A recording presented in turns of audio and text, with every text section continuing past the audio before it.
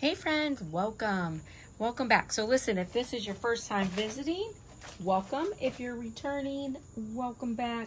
And if you haven't already done so, please hit the subscribe button. I greatly appreciate it. And thank you so much to all my subby friends. I'm so grateful for every single one of you.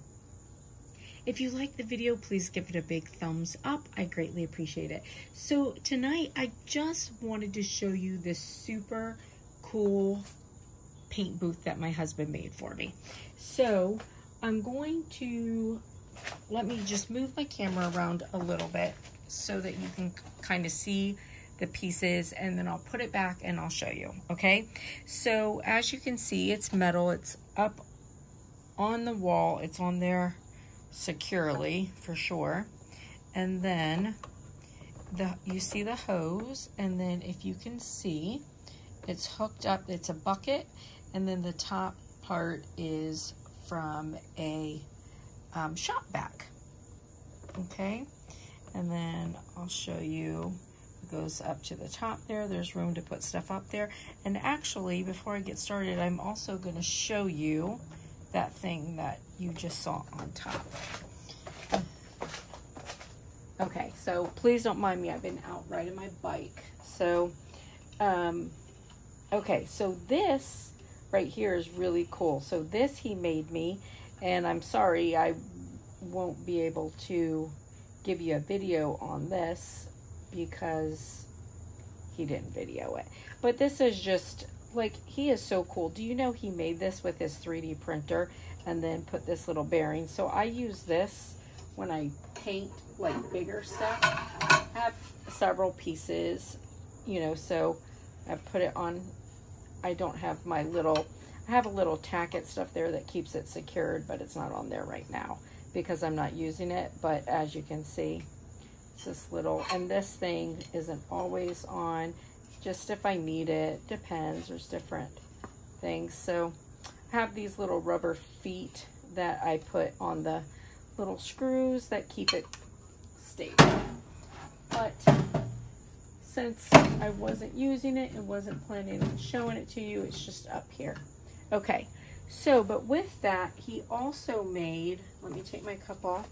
So, see, he made another little um, Lazy Susan inside here for me. So what I used to use, and if you've seen other videos of me painting, I actually used a cardboard box, just like this, on top of a table with a Lazy Susan inside. And it worked really, really well.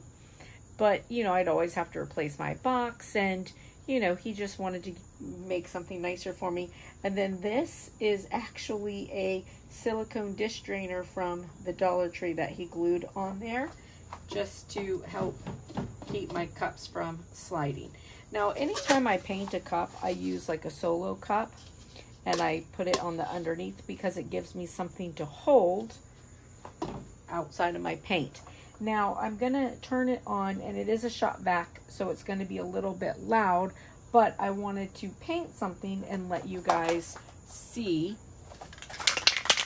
So this is open under here and it allows everything to go under there so that the shop vac will just sort of help bring the fumes and the smoke dust and stuff down into the shop vac, okay? So, super cool.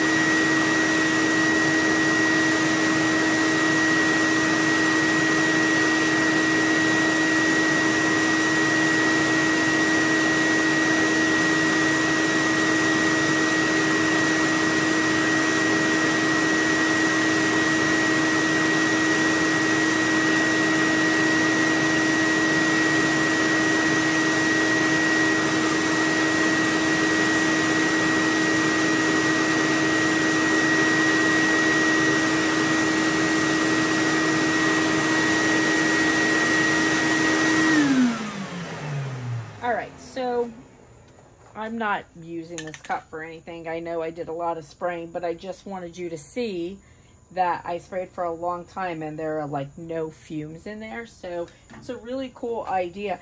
But the other thing is, let me just tell you this. This is something that um, my husband taught me that his dad taught him. So his dad passed away, but he always redid like cars and motorcycles and stuff.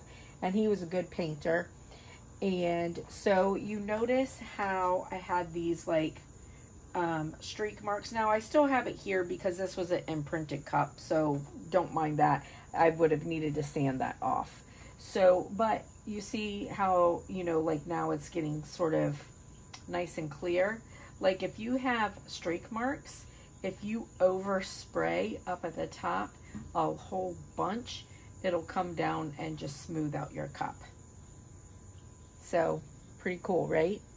So um, anyways, listen, I think that this is such a great idea.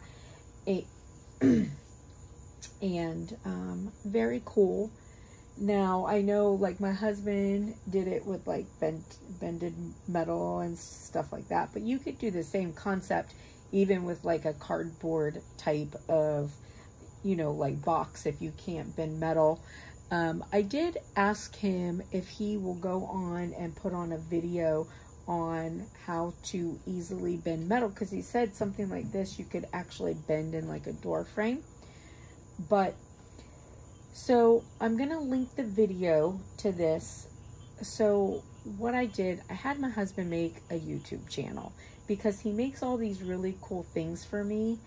And I don't necessarily want to put him making this on my channel. So he said, well, sure, I'll do it if I can also put all of my cool guy stuff, cool guy stuff, whatever.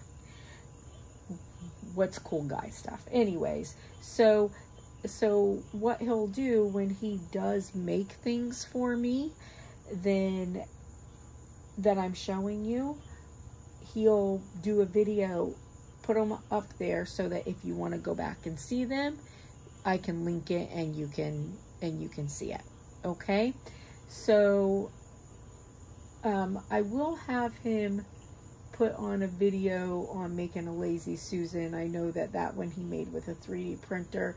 The other one he made, oh, this one he made in a lathe. So if you're interested, let me know and I will have him show you an easy way to make a Lazy Susan. But that one will probably be up there too.